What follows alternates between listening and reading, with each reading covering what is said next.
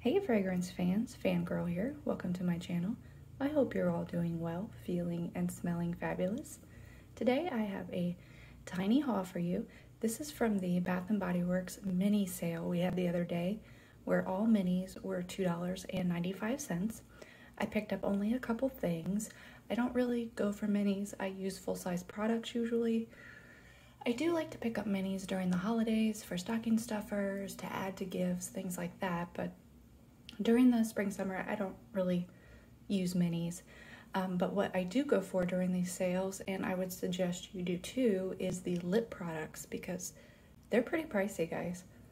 Lip products are on the expensive side, so if you can get them at $2.95, that is really a steal.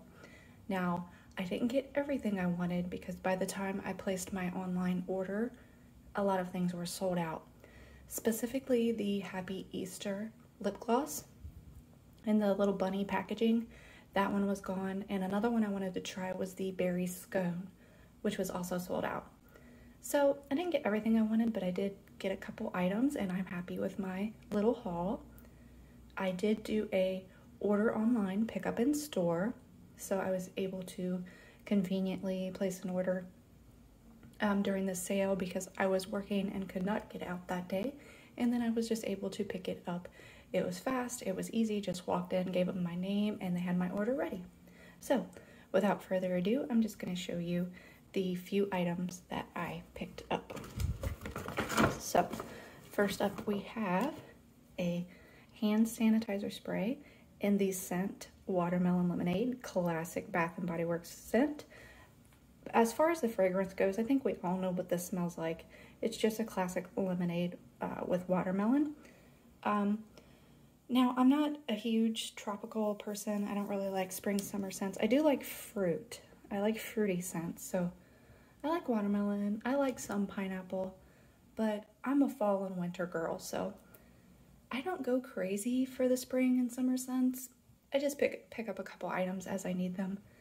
What I really stock up on are the fall and autumn scents. That's my favorite. But I'm currently using a blackberries and basil hand sanitizer spray and I'm almost out of that one so I just wanted to pick up a backup and at $2.95 that's a really good deal for these.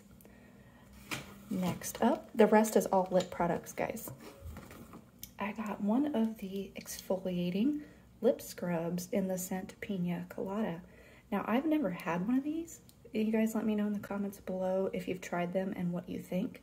But the one I really, really wanted was Berry Scone. But unfortunately, like I said, it was sold out. So pina coladas, you know, it's a good, it'll be a good scent as well. Um, it's probably a lot like the pineapple coconut, which I do like. So I really just wanted to try this formula since I never have before. These normally retail for $12.50. So yeah, expensive guys. So $2.95, really good deal. Okay, two more items in my itty bitty haul and they are both the same type of product but different colors. So I picked up, and I really wanted to try this one. I'm glad I got it before it sold out.